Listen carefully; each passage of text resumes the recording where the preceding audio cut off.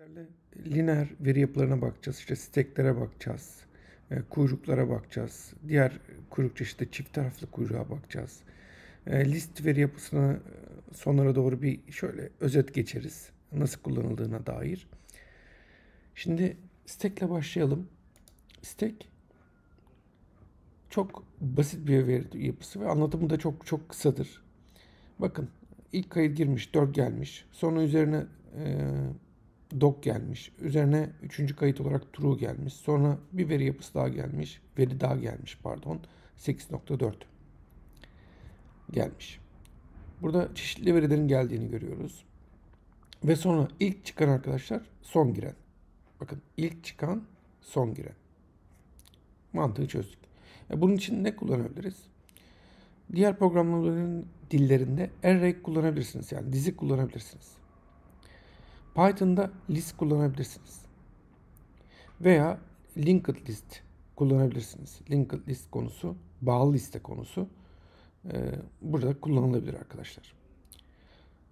Evet, bu veri yapısını gördük. Şimdi bu veri yapısının bir özelliklerine bakalım şöyle. Ne varmış? isempty. Isempty fonksiyon sınırım bu. Bu fonksiyon e, bizim elimizdeki siteyi tamamen sıfırlıyor. E, push komutu ekleme yapıyor listemize. Tekrar bir ekleme yapmış bakın.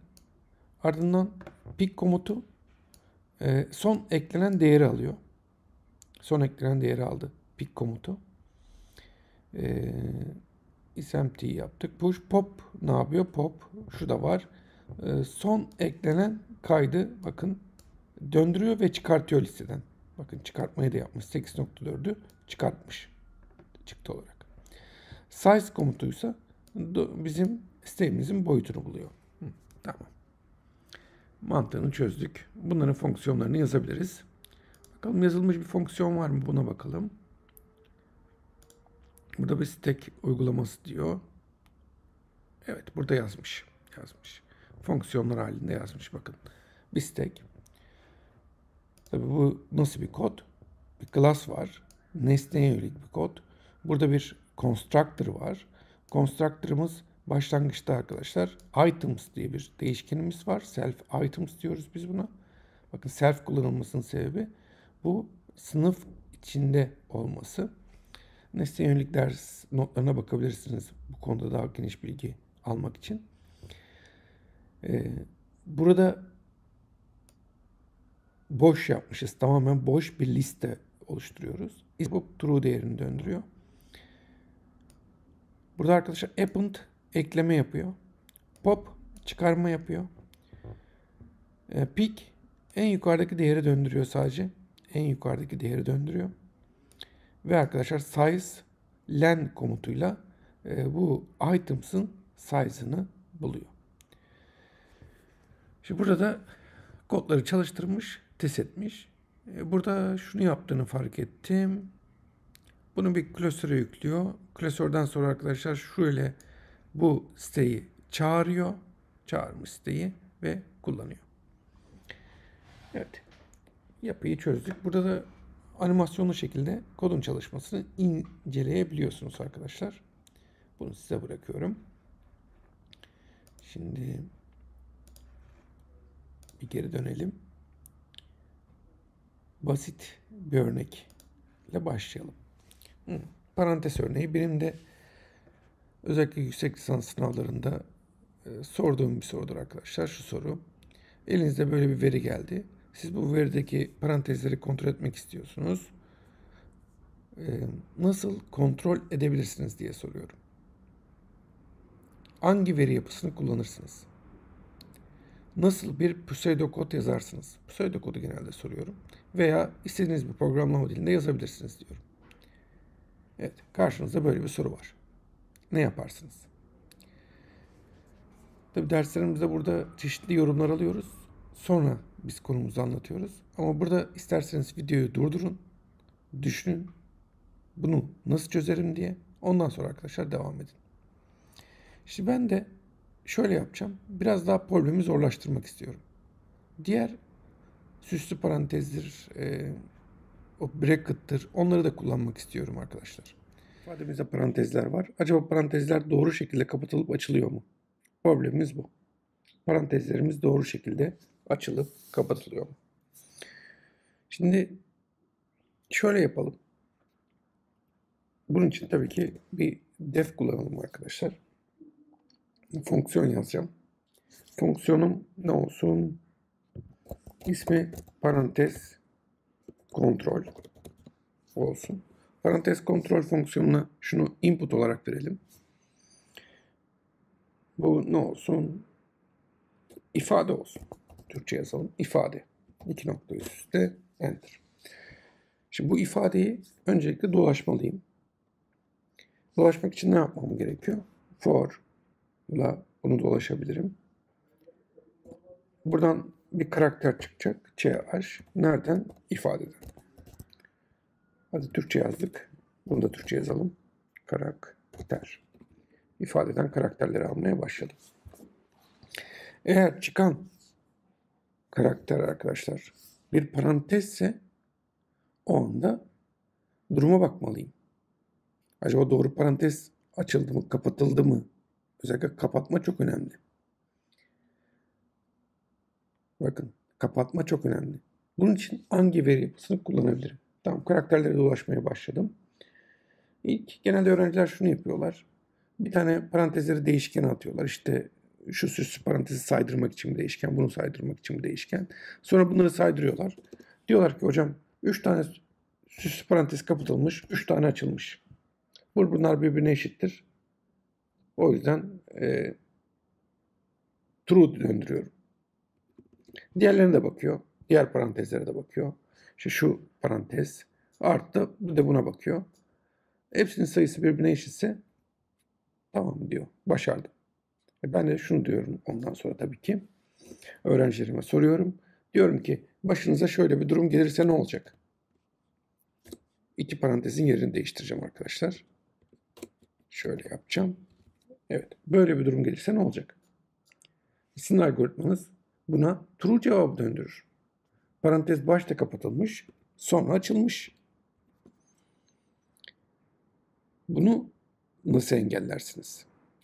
İşte bunu engellemenin en kolay yollarından bir tanesi arkadaşlar stack kullanmak. Bunun için ben de hemen bir stack açıyorum. Şuna stk diyeceğim siteye. Türkçesi yığın sanırım arkadaşlar. Yığın açıyoruz. Sitemizi açtık.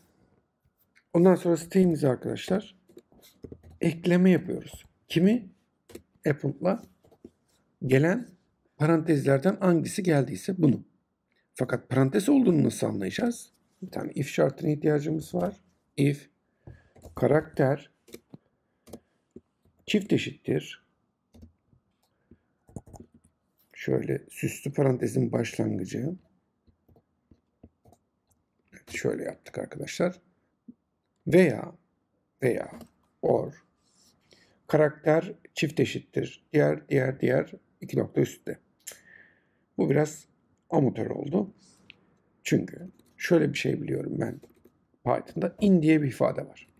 Şu in'i kullanarak bunu yapabilir miyim? Hemen aklıma şunu bir listeye çevirmek geliyor. Şöyle. Eğer bir başlangıç parantezi ise bir yine başlangıçlar alıyorum arkadaşlar sadece. Şu parantezse veya şu parantezse bakalım şuydu evet. Evet iki nokta üstte o zaman append yap. Ne append yap? Karakteri yap. Evet eklemeyi yaptık. Şimdi siteğime bunlar geldi. Ama siteğimden bir çıkış olacak. Ne zaman çıkış olacak siteğimden? Bir kapatma işlemi olduğu zaman. Bir kapatma işlemi olduğu zaman siteğimden çıkış olacak arkadaşlar. Evet. Şimdi bunu yapalım. Else diyorum. Bu karakterlerin dışında bir karakterse hatta şöyle diyeyim. Elif diyelim. Else if.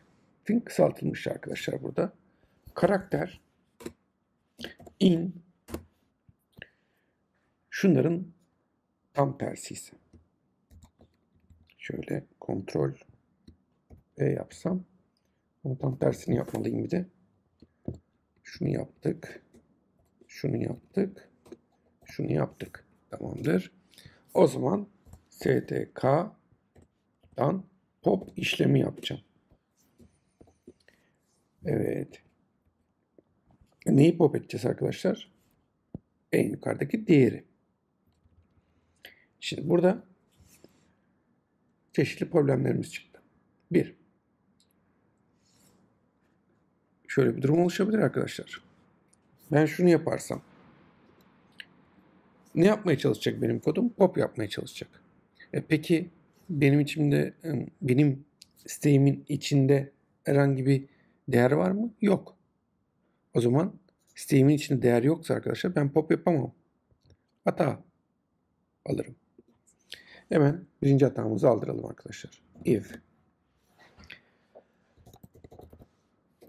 if e, len kimin leni? STK'nın leni eşittir sıfırsa o zaman çıkarma yapamayız. Pop işlemi çalışmaz. Aksi takdirde pop işlemi çalışır. Şöyle yaptık. Burada ne yapacağız? Direkt sonucu döndürelim. Return false diyelim arkadaşlar. F'si büyük oluyordu sanırım. Evet. Ne yaptık? Birinci tip hatayı çözdük. Return false oldu. Eğer biz buradan direkt kapatma paranteziyle başlarsak kodumuz hata veriyor. Hatta şuna da birinci tip hata diyelim. Şöyle yorum satırına da yazayım. Yorum satırına birinci tip hata parantezle başlama hatası. Şimdi diğer hataları da düşünmeliyiz arkadaşlar bu arada. Evet. Şimdi parantezi açtık, kapadık. Ee, burada pop yaptık. Tamam buraya kadar da sorun yok. Kodumuz çalışmaya başladı. Çalıştı, çalıştı, çalıştı. For döngümüz bitti.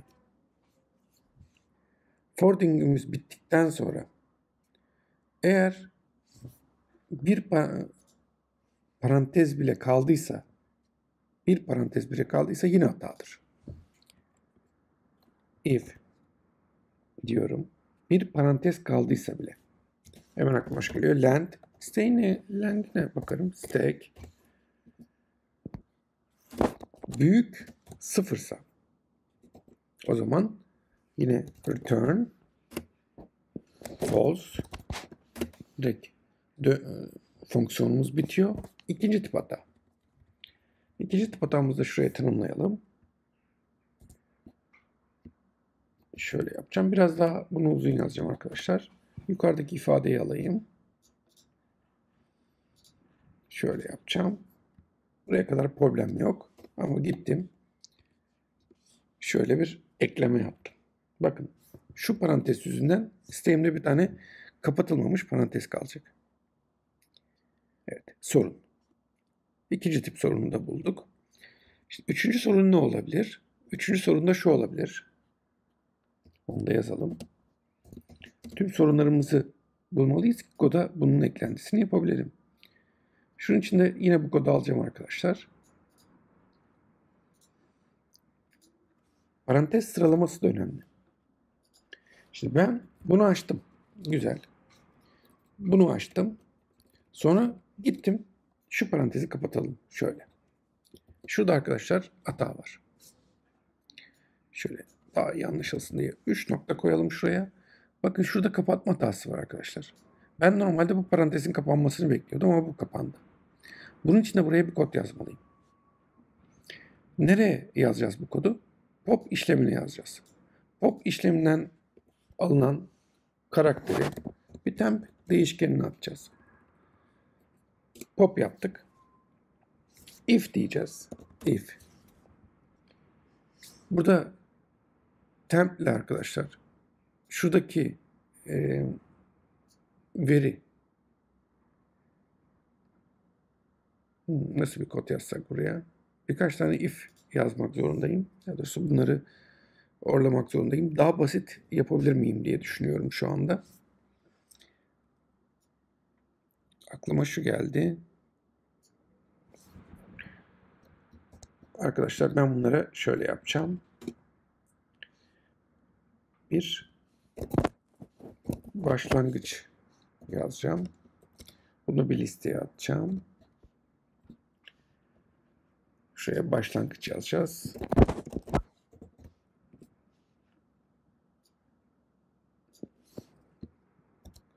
Bunlar da bitişler.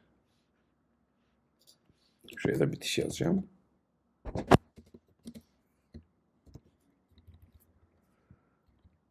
Nasıl az kod yazarım diye düşünüyorum. Şunu bulmalıyım. List index Python diyeceğim arkadaşlar. Python'da index konusuna bakacağım. Ah şöyle indeksi bulabiliyormuşum. Güzel. Şunu kopyalayayım. Mantığını çözmeye çalışayım. Benimki şurada bitiş var. Bitiş. Kimi arayacak? Karakteri arayacak. Karakteri aradım. Bunun bir indeksini buldu. Sonra gidecek.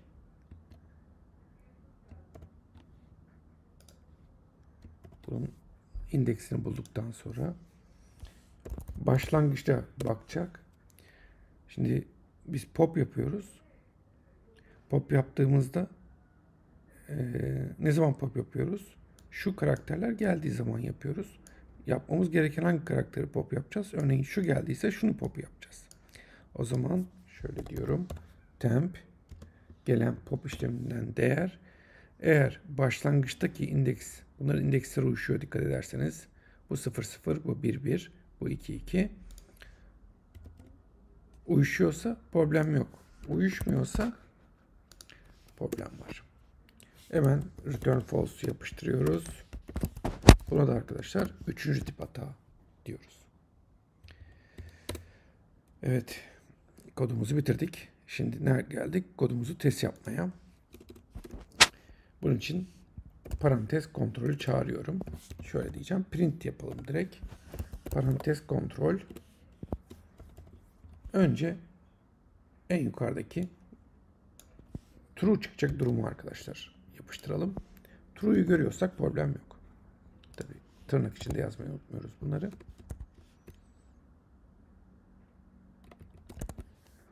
Parantez kontrol yapacağız. True ise değer herhangi bir değer döndürmedi. Çünkü return true'yu unutmuşum. Return true nerede olacak? Tüm her şey güzel gerçekleşiyorsa return true yanına bir değer döndüreyim mi? Hadi döndüreyim. Sıfır olsun.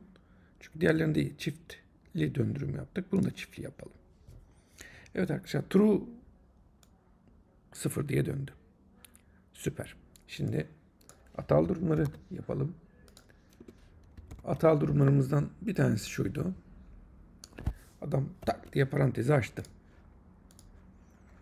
False 1. Tamam. False 1 de okey. Bir tane daha yapalım. False 2 miydi bu? Hadi şu şunu yapıştıracağım arkadaşlar. Copy biraz uzun olsun. CTRL ve Steam'de bir e, kayıt kaldı. Kayıt kaldımış dönüyordu. Steam'i son kez kontrol ediyordum. False 2. Son tip hata. Son tip hata. Onu da hadi şunu kopyalayalım yine. Yanlış parantez kapatılması hatası.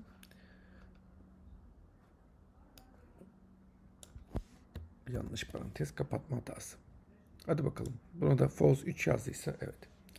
Kodu yazdık arkadaşlar. Burada kodumuzu bir kontrol edelim. Şöyle yapacağım. Breakpoint kullanacağım. Start diyeceğim. Buradan debug yapacağım arkadaşlar. Burada yavaş yavaş kodunuzu geçip sitenizde ne oluyor? Bakın siteme ne geldi? Bu parantez geldi. Tamam güzel. Buradan izliyorum siteyimin ne olduğunu. Siteğimde şu anda ne olmuş? İki tane karakter gelmiş. Güzel. Böyle adım adım işlemlerinizi inceleyip arkadaşlar siteyimizde ne olup ne bittiğini görebiliriz. Şu an hangi parantez olduğunuzu görebilirsiniz. Tabii tüm karakterleri teker teker geçtiğim için biraz uzun sürüyor. Bakın pop oldu. Pop'ta bakalım şu parantez geldi. Şu parantez arkadaşlar ve benim başlangıçta hangi parantez olduğunu bulursam şu parantezi çıkarmaya çalışıyorum. Nereden? Stack'ten. Bakın stack'ten. O parantez çık çıktığı anda eğer hata yoksa devam edecek. Bakalım temp değeriyle bu değer uyuşuyor mu? Uyuşuyorsa şöyle geçelim. Uyuştu. Problem yok. Hata vermedi. Bu şekilde arkadaşlar kodunuzu adım adım inceleyebilirsiniz. Ve postfix. Bu konu biraz göz ardı edilen bir konu ama çok önemli bir konu. Bilgisayarın çalışma mantığını bilmemiz açısından da aslında önemli. Şimdi biz kod yazarken genelde şöyle yapıyoruz. X diyoruz, artı Y diyoruz. Biz bunu arkadaşlar infix deriz. Burada herhangi bir problem yok tahminim. Artı araya geldi. Matematiksel ifadeye yakın. Ama arkadaşlar bilgisayarın anlayacağı yapı bu değil. Bu değil. Peki bilgisayar nasıl yapıdan anlar? Bilgisayar arkadaşlar bir Artı başa gelebilir. 2. Artı sona gidebilir. Artı başa geldiğinde x ve y başta ne yapacağını söyledik. Burada ise x ve y gelecek. Sonra da artı gelecek dedik. Bakın bu iki farklı gösterim şekli. Prefix ve postfix gösterim şekilleri bunlar. Şöyle yapalım. Bununla ilgili acaba bir örnek var mı? Ona bakacağım. Ya burada çok benzer bir örnek var. Benim verdiğim örnek x artı y'yi almış. Bakın prefix başa geldi. Postfix de sona gitti. Peki hocam bunu nerede kullanacağız? Nasıl kullanacağız? Arka planda aslında arkadaşlar bilgisayar işlemleri yaparken e, bu şekilde yapamıyor tabii ki. Bu şekilde yapmaya çalışıyor. Örneğin postfix stack için çok uygun bir yapıdır. Yapalım. Örnek verdik yapalım. Evet A ile karşılaşınca git bunu siteye at. Siteye attım. Sonra B ile karşılaşınca bunu siteye at. Attım. Artı gelince stack'ten iki tane pop işlemi yap. Çek onları. Ve toplanma sonucunu tekrar siteye at. Bakın arkadaşlar toplama işlemini ne kadar yap, rahat yaptım. Eğer ben bunu infix ile yapmaya çalışsaydım stack işe yaramazdı. Peki postfix nerede kullanılıyor diyeceksiniz. Onu da programlama dillerinden örnek verelim arkadaşlar.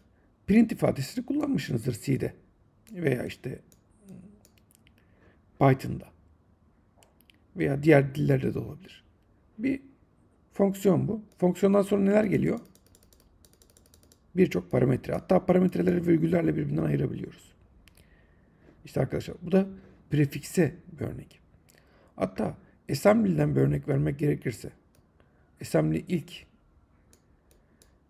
e, makine diline yakın dillerden bir tanesi. Örneğin load komutu. iki parametre alır. Atıyorum x virgül y. Bu da arkadaşlar bir prefix ifadesine yakın ifadedir. Evet. Peki şunu diyecek olabilirsiniz. Hocam ben niye e, x artı y yazıyorum da ya da a artı b yazıyorum da niye prefix yazmıyorum? Arkadaşlar bazı programlar örneğin Clojure'da sanırım prefix yazarsınız. Ve daha hızlı çalıştığını iddia eder. Çünkü sizin bir infix işleminiz her zaman arkadaşlar şu iki işlemden bir tanesine çevrilir. Bu çevirme bir zaman kaybıdır. Clojure dili ise direkt prefixle yazdırdığı için ifadeleri direkt daha hızlı çalışır. Çok basit bir mantık. Evet. Burada çeşitli örnekler var. Bu örnekleri size bırakıyorum incelemesini. Bakın burada şunlar gerçekleşecek, sonra şu gerçekleşecek, sonra bu gerçekleştirecek. Bu ne yapacak? Şu ikisinden çıkan sonucu çarpacak gibi yorumlamamız gerekiyor. Burada oh, güzel bir kod da yazmışız.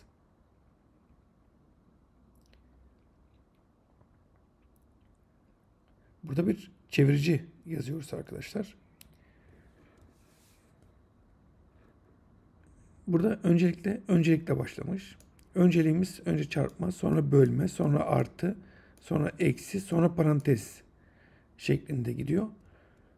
Bunun ki 1 vermiş, diğerlerine 3 ve 2 vermiş gördüğüm kadarıyla. Yine bir stack açıyor. O ilk kullandığımız stack. Ardından tokenlar olarak ABCD harfleri alıyor. Şu alfabe, alfabedeki Türkçe karakterleri yok. Dikkatinizi çekerim. Ve bunlar da diyor ki diğer tokenlar. Şunlar veya şunlar. Dolayısıyla ekleme yap. Parantezle karşılaşıyorsan e, stack işlemini başlat. Parantez kapanıyorsa stack'ten pop yap. Bir for döngüsü var. Sonra token ta ki şu parantezden farklıysa git e, append yapmaya devam et ve onları pop yap. Bakın şurasının maliyeti neydi arkadaşlar? Maliyet hesabı yapalım. Şurası ilk gördüğüm ON'di. Fakat şuraya geldiğinde ne kadar olacağını bilmiyorum iç işlemin. O n kare oldu. O n kare. Hatta bu for döngüsü içinde bir döngü daha var şurada. Şu da arkadaşlar e, geldi. Bu da arkadaşlar şu forun içinde yer aldığı için bu da o n kare. Genel sonucumuz o n kare olmuş oluyor bu işlem için. O n kare. Eğer fonksiyonlarda farklı bir durum yoksa. Bunu da çözümlemiş olduk. Kalemimizi alalım tekrar. Bu uygulamayı size bırakıyorum arkadaşlar. Gerçekleştirmesiniz. Çünkü şu for döngüsü bittikten sonra şurada da bir while başlıyor. Burada da infix to postfix çevrimini yap diyoruz. Bilgisayar bize çevrimi yapıyor.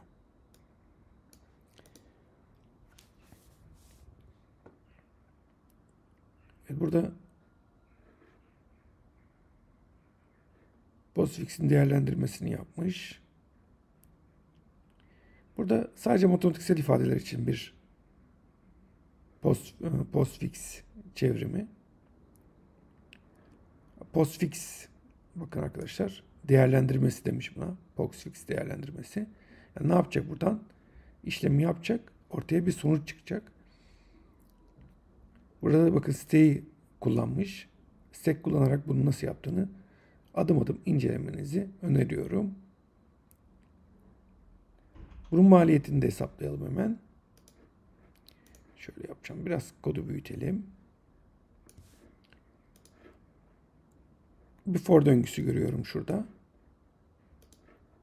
Şurada bir for döngüsü var.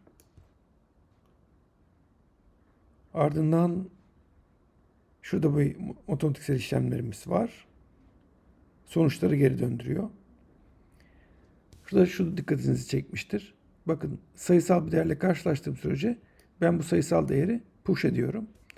Eğer bir operantla karşılaşırsam bunların dışında bir durumla operantlar şunlardan bir tanesi olabilir. Başkası olamaz. O zaman arkadaşlar pop işlemi yapıyorum. Burada artı var, bölme var, çarpı var. Diğerlerinin hepsi eksi pozisyona geçmiş oluyor. Yani şunu fark ettim. Bunların dışında herhangi bir karakter ve bunların dışında herhangi bir karakter kullanırsanız eksi yapacak. Bu eksi iki tane pop işlemi yapıyor ve ardından da onları sonucunu alıyor. Şu matematiksel işlemi yapıyor. Tekrar sonucu siteye atıyor. En sonunda arkadaşlar stack'te kalan sonucu ekrana çıktı olarak üretiyor. Burada tamamen postfix ifadenin doğru yazdığını kabul ediyorum arkadaşlar. Ve karşıma da bunun matematiksel sonucu çıkıyor. Konusuna. Kuyrukta first in, first out. İlk giren, ilk çıkar mantığı vardı. İşte site, siteye göre ters bir mantık arkadaşlar. Yani ilk giren, ilk çıkar. Ve tabii ki burada bir liste oluşabilir. Burada banka kuyruğunu ayar edebilirsiniz. Gelen müşteriler oluyor. Sıraya geçiyorlar. Ve sıraya geçtikten sonra da arkadaşlar ilk gelenin işi ilk bitiyor. Tabii günümüzdeki torpilli müşterileri saymıyoruz arkadaşlar. Torpilsiz bir sistem olduğunu düşünüyoruz. Evet. Şimdi bu kuyruğa bakalım. Kuyrukta önce kuyruğun bir yapısına bakalım. Burada basit bir kuyruk yapısı. ins empty fonksiyonu kuyruğu temizlemek için kullanılıyor. E, enqueue komutu 4 dediğimizde 4 sayısını eklemesini yapıyor. Enqueue ile ekleme yapmışız. E, neye bu? Bir diziye olabilir. Neyle ekleyeceğiz arkadaşlar? Append'la ekleyebiliriz şu anda gördüğüm. Ama şöyle bir şey var. Append sona ekler. Bakalım enqueue dog dedik. Başa eklemesi gerekiyor. O zaman neyi kullanacağız? Append'ı kullanamayız. Büyük ihtimalle insert kullanırız diye düşünüyorum. Bakarız şimdi koda. True. Burada true değerini eklemiş. Herhangi bir karakter e, yapı ekleyebilir. Bool, string, integer fark etmez. Tabi bu neyin özelliği arkadaşlar? Python'ın bir özelliği. Diğer dillerde arkadaşlar veri türünü belirlediğiniz anda sadece o veri türünü ekleyebilirsiniz. Bunu unutmayalım. Size komutu buradaki elemanları sayar. 3 cevabını buldu. Empty false değeri döndürdü. Ee, ve is empty değeriyle arkadaşlar e, boş olmadığını söyledi. Buradaki bakın true değerini döndürmüş. Empty, is empty olayı. Boş mu diye sormuşuz. Kuruktan almak için deque komutu kullanılıyor. Deque, bakın enqueue, deque. Deque aldıktan sonra en baştaki e, değil en sondaki bakın şu ilk girini alıyor. En sondaki alıyor. Ve onu da çıkartıyor arkadaşlar. Deco'ya deco'ya. Ben orada pop işlemini yapıyor. Ama bak eklemeyi başa yapıyoruz. Bakalım bir kod bunun için yazılmış mı? Bir class yazılmış mı? Stack'te olduğu gibi. Burada uygulaması var.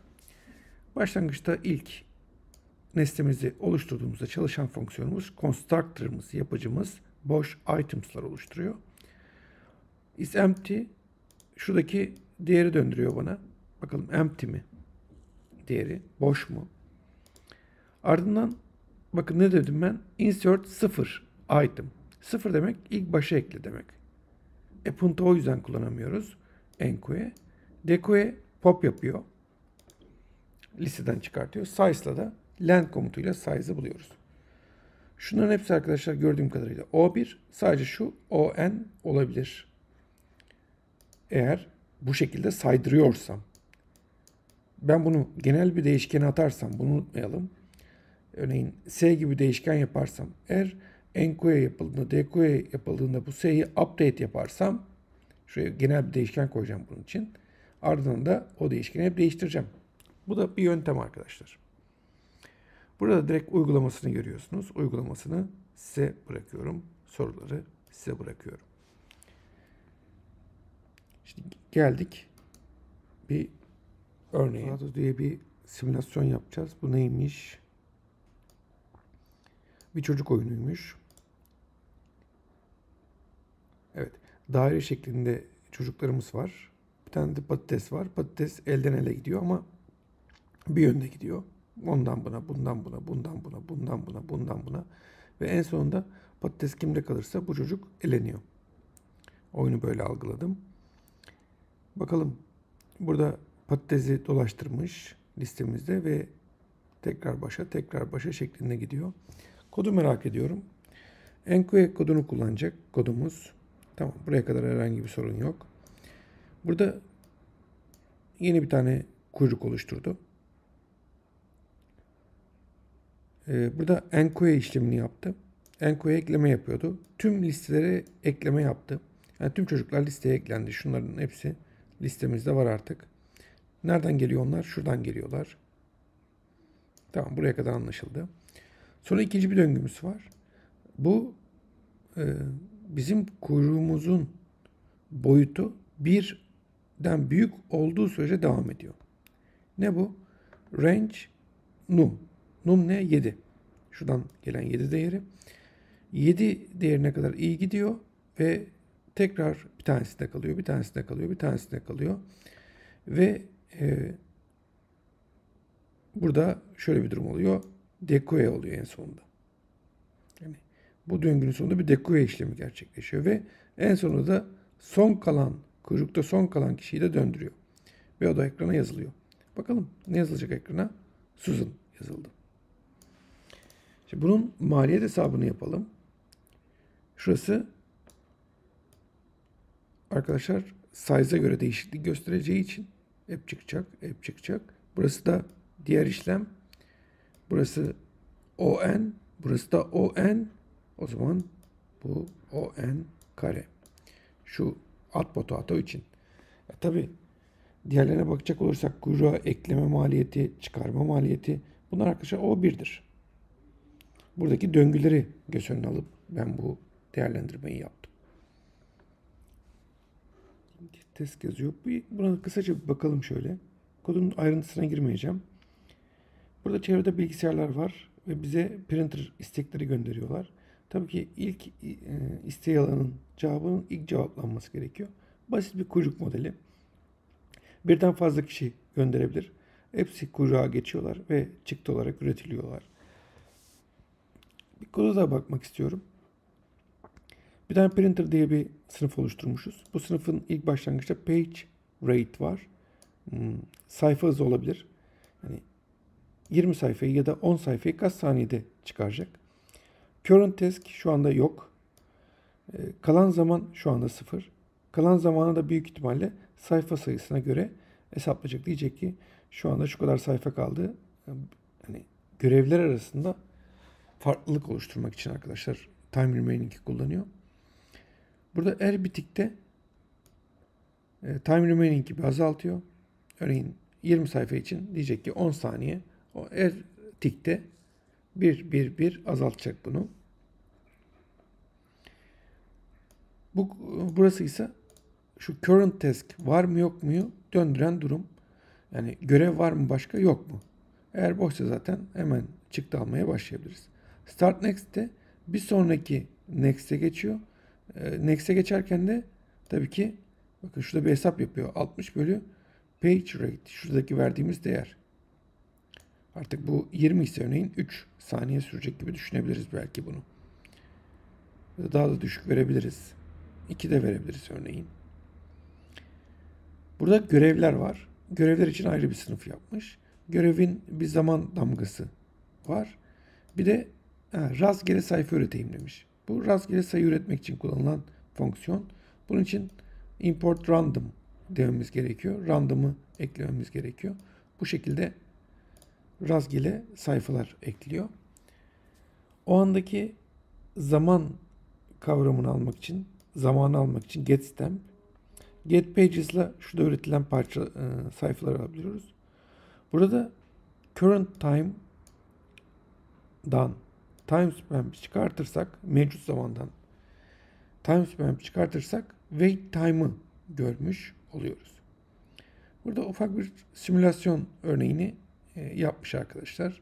Burası simülasyon demiş. İşte e, sayfa dakikaları vesaire diğer bilgileri girdikten sonra işlemleri başlatmış. Ve şöyle çıktılar oluşmuş. Bunu size bırakıyorum bu kısmını. Bir de zaman karmaşıklığı açısından da bir inceleyelim. Burada herhangi bir döngü vesaire görmüyorum. Fonksiyonlarda da bir sorun görmedim. Burada da herhangi bir sorun görmüyorum. Arkadaşlar burada pek döngü yok. Nerede döngü var? Şurada bir döngü görüyorum. Evet o enlik bir döngü görüyorum burada sadece. Evet o enlik bir döngü söz konusu. Kodun çalıştırmasını size bırakıyorum.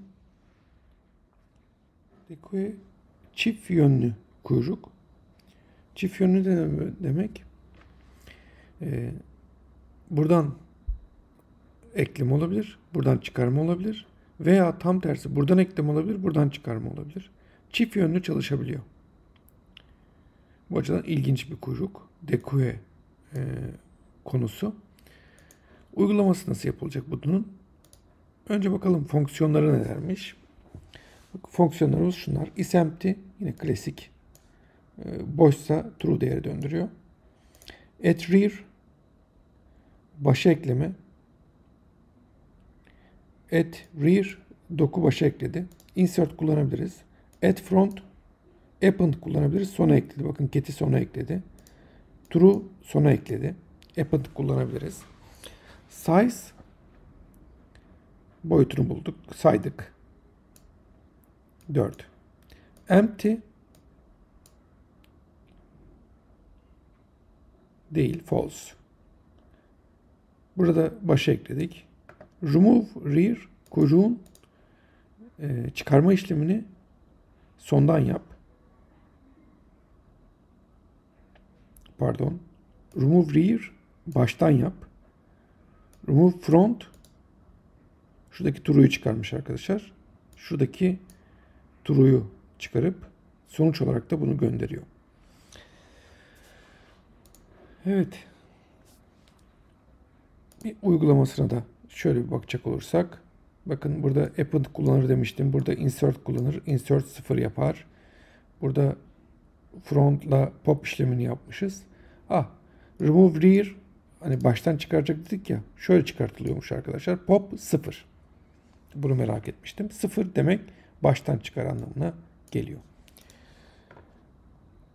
Tabi bunların hepsinin zaman karmaşıklığı şu anda gördüğüm kadarıyla O1. Ama biz bunu dizlerde yapmaya çalışsaydık arkadaşlar biraz daha farklı şekilde tasarlamak zorundaydık. O zaman maliyetler artabilirdi. Şu anda list kullandığımız için e, listin biraz çalışma e, prensibi daha farklı. Linked list konusunda bunu benzer özellikleri var. Orada anlatacağım.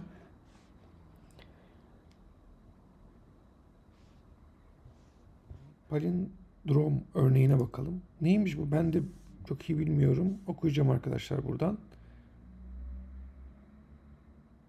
Ah tamam. Mantığı çözdüm. Başından ve sonundan okuduğunuzda örneğin radar baştan okursanız da aynı çıkıyor. Sondan okursanız da aynı çıkıyor. Tot aynı şekilde. Madam aynı şekilde. Tamam. Güzel. Şimdi o zaman nasıl bir kod yazarsak bunu baştan ve sondan okuduğumuzda aynısı çık çıktığında o zaman bu işlemi yapmış oluyoruz. Bakalım bir kere koda. Kodu inceleyeceğim. Şöyle büyütmek istiyorum arkadaşlar kodu. Neler kullandığımıza bakalım. Bir tane dekoya ürettik. Ardından buradaki çağrıları okuduk. Karakterleri okuduk. String'i string gelecek dışarıdan bir tane. O string'deki karakterleri okuduk. Sonra e, still equal true dedik. Hmm. Evet çok ilginç arkadaşlar. Şöyle bir elimizde deque var. Bakın şu komut ne yapıyor? İlk karakteri okuyor. Şurada R ile var. Şurada R var. İkisi tane R okursa sonra da bakıyor first ve last eşitse equal'da problem yok. False. False olduğu sürece de ee, pardon farklıysa false. False olduğu sürece döngü bitti. Ama false değilse true kalırsa yani şurası gerçekleşmezse R R olursa o zaman true dönüyor. True dönmüyor. Döngü devam ediyor. Stil başlangıçta true yapılmıştı. True kaldığı için de döngü devam ediyor. Sonra bakıyor AA'ya bakıyor. Döngü devam ediyor. Ta ki size büyük bir oluncaya kadar. Bakın bir tane kalırsa artık döngü bitiyor. D'ye hiç bakmıyor dahi. Ve still equal çıkabiliyor. Veya arkadaşlar şu da bir farklılık varsa still false oluyor. False olduktan sonra keşke döngüyü bitirseymiş. Yani burada return false yazılabilir arkadaşlar. Niye döngüyü bitirmiyor ben bunu anlamadım. Şuradaki kodu beğenmedim. Şuraya arkadaşlar ben olsam şöyle return false yazarım. Niye diyeceksiniz? Arkadaşlar bir kez false'la karşılaştıktan sonra döngüye niye devam ediyorsun ki? Bir break kullansaydı en azından kurtulurduk buradaki while döngüsünden. Veya direkt sonucu döndürmek en güzeli. Return false yaz. Artık diğer işlemleri yapmaya gerek yok. İşlem bitmiş. Evet. Tabii e, işte kitap bu yazanları eleştirmek gibi oldu bu ama e, biz de böyle hatalar yapıyoruz arkadaşlar kod yazarken. Bu makul göreceğim bir hata. Şuna false döndürecek, şuna true döndürecek diye düşünüyorum çalıştırdığımızda. Çalıştırmak için de şuraya bir tıklayalım. Evet, false ve true. Listelere bakalım. Burada aslında bir kıyaslama da yapmak istiyorum. Python'da listeler e, bağlı listelere benzer bir yapıda çalışırlar. Araya ekleme yapabilirsiniz, çıkarma yapabilirsiniz. Ama bu işlem array konusunda daha zordur. Özellikle C'de, C Sharp'ta, Java'da kullanılan array'ler aradan ekleme yapmak, çıkarma yapmak biraz daha e, zorlayıcı bir süreçtir. İşte bunun hakkında bilgi verelim. Niye zorlayıcı bir süreç? İşte array neydi? Ona bir bakalım önce. Bizim bir dizimiz var. Array diyoruz buna. Bu array'imizin bölümleri var. Bu bölümler neye göre ayrılıyor? Siz örneğin bir integer tanımlarsanız farklı boyutta, float tanımlarsanız farklı boyutta büyüklükler oluyor. Tabi bunların birer adresi var. Örneğin atıyorum yüzden, yüzüncü adresten başlıyorsa burada boyuta göre örneğin 2 byte'lık yer olsun 102. adres, 104. adres şeklinde gidiyor. Ve buraya da tabii ki bir başlangıç konumuz var. Şunu diyebiliyorsunuz. 2 byte 2 byte artsın diğer adresleri görebiliyorsunuz. Pointer mantığı. Pointer'la çok rahat şekilde C'de diziyi dolaşabiliyorduk. Ama ama listeler böyle değil. Listeler daha dinamik yapıya sahipler ve e, belleğin farklı bölgelerini kullanabiliyorlar. Örneğin şöyle bir bağlantı adresi oluyor. Burası bağlantı olsun. Burada verimiz var, bir bağlantımız var. Bu bağlantı adresi sonraki adresi gösteriyor. Örneğin diyor ki 108'e git. Şu anda yüzde olduğumuzu farz edelim. Burada bir veri var yine. Örneğin 8 sayısı. Bakın burada da 8 sayısı var. Bir sonrakiye geçmek için, ona geçmek için burada 2 byte arttırmanız yeterli. 102'den başlayacağınızı biliyorsunuz. Ama burada ise arkadaşlar ona gitmek için bu onun adresini kullanıyorsunuz. 108. Bu adresi kullanarak buraya zıplayabiliyorsunuz. Şimdi bunun ne yararı var? Ne zararı var? Bu şekilde devam ediyor. Bunu bir düşünmenizi istiyorum. Hatta videoyu durdurup düşünebilirsiniz. Ondan sonra ben cevabını vereceğim. Şimdi burada bir, bu şekilde yaptığınızda aslında e, daha hızlı şekilde diziyi dolaşma şansınız var. Çünkü burada sonuçta bir adrese bakıyorsunuz. Daha yavaş. Fakat belleğinizi kullanırken belleğinizde e, RAM belleğinizi düşünelim. Büyük belleğimizi düşünelim. Programlarınız örneğin burada bir program parçası varken burada da bir program parçası var. Burada irili ufaklı yerler kalıyor. Bunları daha dinamik şekilde kullanmak istiyorsanız tek bir çareniz var. Liste üzerinde, bu düzende tutmak. Atlama yapabiliyorsunuz bellekte. Artı şuradan bir araya ekleme işlemi yaptığınızı düşünelim. Şuraya 20 sayısı gelsin. Burada başka sayılar da olsun. Bunun için bir kaydırma işlemi yapmalısınız. Dizinizi bir kaydıracaksınız. Nasıl kaydıracaksınız? Bunun için genelde yapılan yöntem C'de yeni bir dizi açılır. Dizinin elemanları atılır atılır. 20'ye gelince 20 eklenir. Ondan sonra dizinin kalan elemanları eklenir. Bunun için örneğin bu dizi 5'likse 6'lık bir dizi oluşturulur. Ve o n'lik bir maliyet oluşturulur. Bakın o n. Çünkü kaydırma işlemi yaptık. Peki burada nasıl oluyor? Burada ise arkadaşlar o birlik bir maliyet var. Örneğin siz şunu yapabilirsiniz. 120. adreste şöyle 120. adreste bir tane kutu dursun. Ben şuraya sadece şunu değiştirerek şunu 120. adrese kaydırdım deyip şu bağlantıyı koparabilirim. Atıyorum buraya da 108 yazarım. Tekrar 108'e giderim. Bu da 108'e gitti tekrar. Bakın ekleme, araya ekleme maliyeti O1'e düştü. Burada o en de araya ekleme maliyeti. Burada O1'e düştü. Aynı şekilde silme için de arkadaşlar geçerli bu. Örneğin 120'yi sildiğiniz anda şuradaki adresi değiştirdiğiniz anda 108 yaptığınız anda tekrar O birlik maliyetle silme yapabiliyorsunuz. Burada ise aradan silme yapmaya kalktığınızda maliyetiniz arkadaşlar yine ON olmuş oluyor. Tabi şunu diyebilirsiniz. Hocam burada veriyi e, tutarken e, adres tutmadığımız için daha az yer kaplar. Evet bu daha az yer kaplar. Yani array o açıdan iyidir, hızlıdır. Yani 8'den direkt ona 2 byte, 2 byte, 2 byte oku diyerek geçebiliyorsunuz. Bu açıdan da e, bu daha güzel bence. Array daha güzel. Ama diğer taraftan da belleği etkin şekilde kullanmak, e, araya ekleme, aradan çıkarma maliyetini düşürdüğümüzde bu daha iyi. Ha, tabii şunu diyecek olabilirsiniz. Hocam ben hangisini kullanacağım? Arkadaşlar projeye göre değişir. Ama Python programlama ile listeler var zaten. Array kullanmak istiyorsanız e, NumPy diye bir kütüphane var. Onunla array'e benzer bir yapı kullanabiliyorsunuz. Orada e, array'ler var, array konusu var. E, fakat direkt Python içinde arkadaşlar sadece listeler var. Yani bunu tercih etmişler. Öyle diyelim. Ama C'de örneğin bu var. C'de bunu da yapabiliyorsunuz. Liste de yapabiliyorsunuz. Şimdi C'de kendi listenizi nasıl yapacaksınız buna da bakacağız. Veya C'de veya C Sharp'ta veya diğerlerinde buna bakacağız. Tabi burada e, şunu hatırlatalım.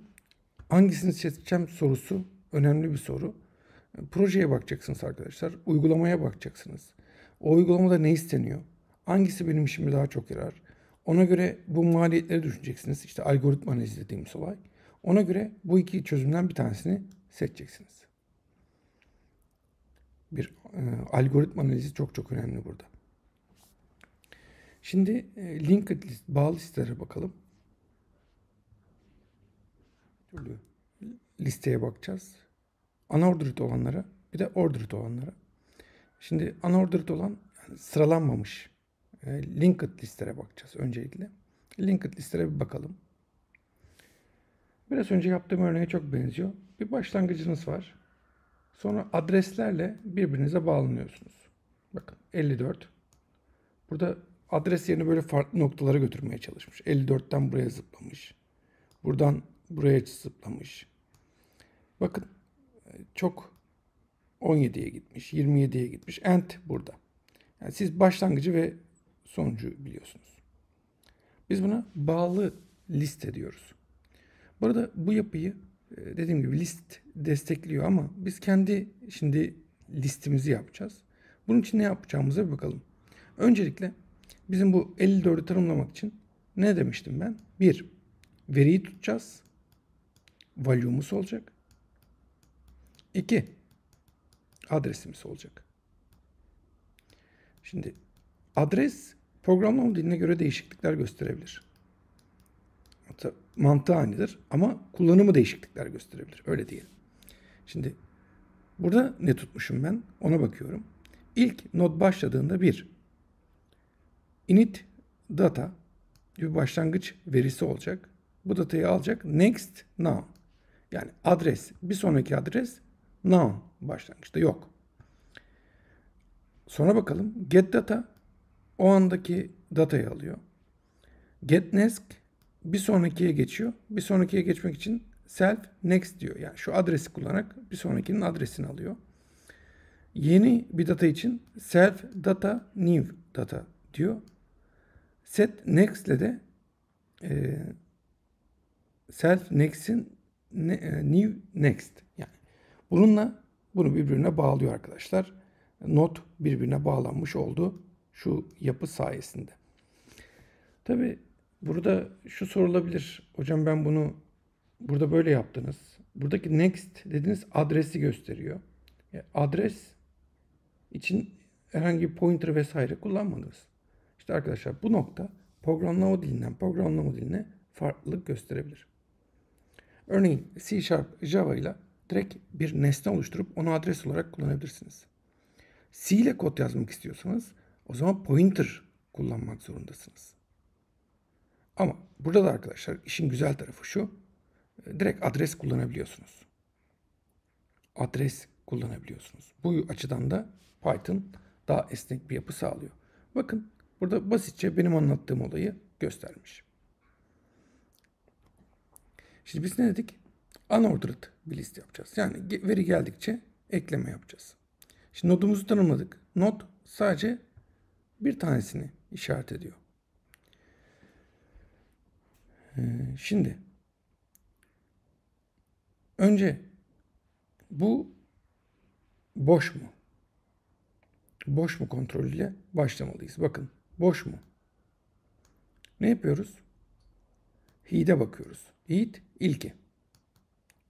İlkine bakıyoruz. Eğer heat none'sa yani hiçbir şey yoksa o zaman arkadaşlar empty diyoruz. Peki. Sonra mylist'e eklemeler yapmışız. Mylist add demişiz. Bir tane add fonksiyonumuz olması lazım. Bakayım. Buralarda daha onu yapmadık. Add fonksiyonumuz aşağıda büyük ihtimalle topluca gelecek. Ne yapıyormuş? Bakın add fonksiyonu bir item alıyor, ekliyor. Bakın nereye ekliyor? Diyor ki self eat. En başa ekliyor arkadaşlar. En başa ekliyor. Diğerlerini de hemen bağlıyor. Neyi bağlıyor? İşte self eat e, temp yapıyor ve bağlıyor. Her zaman eat'e ekleme yapılacak. Eklemeyi böyle yazmış. E, hocam ben sona ekleme yapabilir miydim? Evet buradaki adresi tutarsan sona da ekleme yaparsın. Yani onun için eat'i tutmak yerine bir de eat'in yanına ne tutabilirsin? Sonuncuyu tutmak için last diye bir e, değişken tutup orada da o adresi tutarsan last'ı da ekleme yapabilirsin. İster başa ekle ister sona ekle. Ama biz buradaki örnek üzerinden gidelim. İyi de ekleme yaptık. Tabi bu eklemenin maliyetini dikkatinizi çekerim. Maliyeti sadece O1. Herhangi bir kaydırma işlemine gerek duymuyorsunuz. Size'ı yaparken ne yazık ki size için bir değişken kullanmamışım yani. En gibi bir değişken atsaydım eğer ekleme yapıldığında e, arttırsaydım, eğer çıkarma yapıldığında azaltsaydım o zaman arkadaşlar şu döngüye hiç ihtiyacım yoktu. Ama ben boyutu hesaplamak için eğer böyle bir değişken kullanmıyorsam o zaman tek yapmam gereken şu. While döngüsü açıp saymak. O zaman maliyet o n. E, hocam niye size'ı böyle tutuyorlar? Arkadaşlar gereksiz bellekte e, değişken oluşturmak istemiyorlar ve sayıyorlar. Ama siz diyorsanız ki benim bellek açısından sorunum yok. O zaman sınıfınızın içine en gibi değer ya da size gibi bir değer koyun. Size arttırın veya azaltın. O zaman maliyeti o bire düşürmüş olursunuz. Yine bir arkadaşlar kıyaslama olayı. Hangisini seçim yapmak size kalmış durumda. Ama burada ON'i kullanmış. Teker teker hepsine bakmış ve saymış. Search maliyeti yine en başlangıçta tam başlamış. Eat'i biliyoruz nasıl olsa. Found eşittir false demiş. Aramaya başlamış. Aramış, aramış, aramış. Found eşittir true demiş.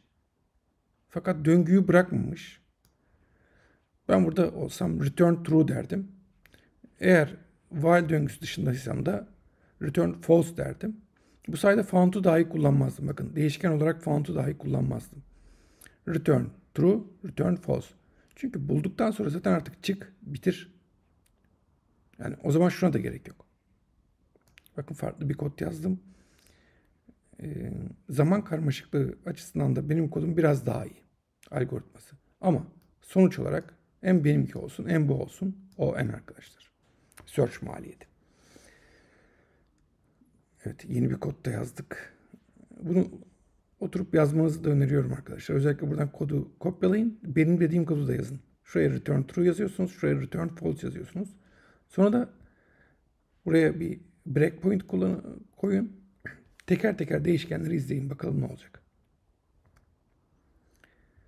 Burada remove işlemi var. Remove işlemi biraz maliyetli. Niye? Çünkü öncelikle bir ON'lik işlem görüyorum burada. Bu işlem ne yapıyor? Arama yapıyor. Yukarıdaki search'ı yapıyor.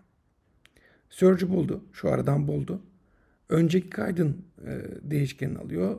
Next'e atıyor. Burada o birlik sadece bir maliyet var. Aradan silme yapabiliyor. Bakın remove aradan silme. Remove maliyetini gördük burada da. Evet, kalemimizi bırakalım. burada yazılmış tüm kod var mıdır diye baktım. Yazılmış tüm kod yok arkadaşlar. Ah şurada var.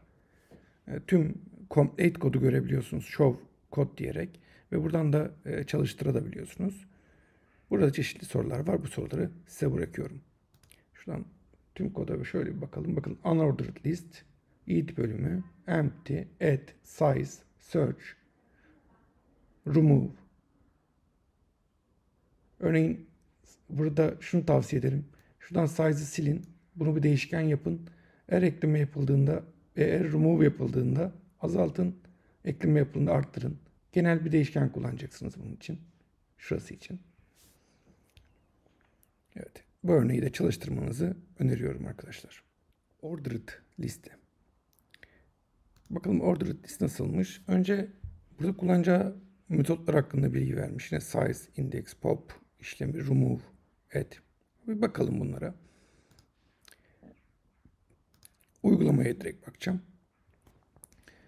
Öncelikle yine benim oradaki notu kullanıyor. Not. İlk yazdığımız not vardı ya. Onu kullanıyor. Diyor ki self eat noun olacak başlangıçta. Evet hiçbir değer yok. Güzel. Ee, burada şuna bakalım. Bu ordered datada arama problemi. Arama için bakın teker teker dolaşmak zorunda ne yazık ki yine. Aslında bunu dizilerde sıralı liste üzerine arama yapmak arkadaşlar.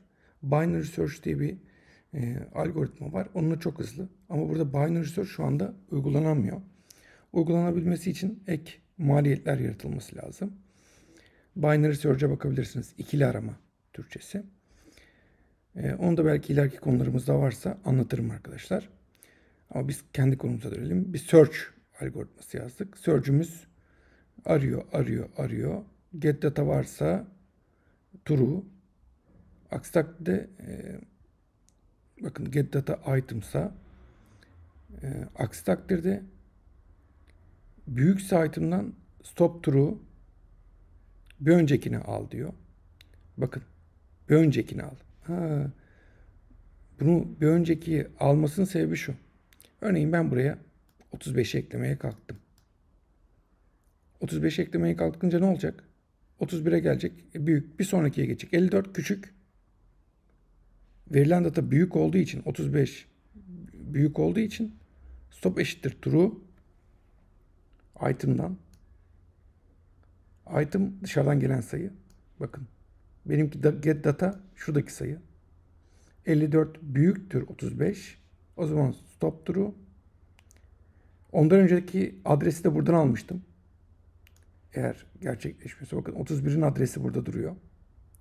Ve ondan sonra found yaptım. Ama adres bilgisini de aldım. Ki ki burada bakın araya eklemeyi görüyorsunuz. Tık araya ekledik. Tabi arama maliyeti burada ON. Aramak zorundayız. Ama ekleme maliyeti O1.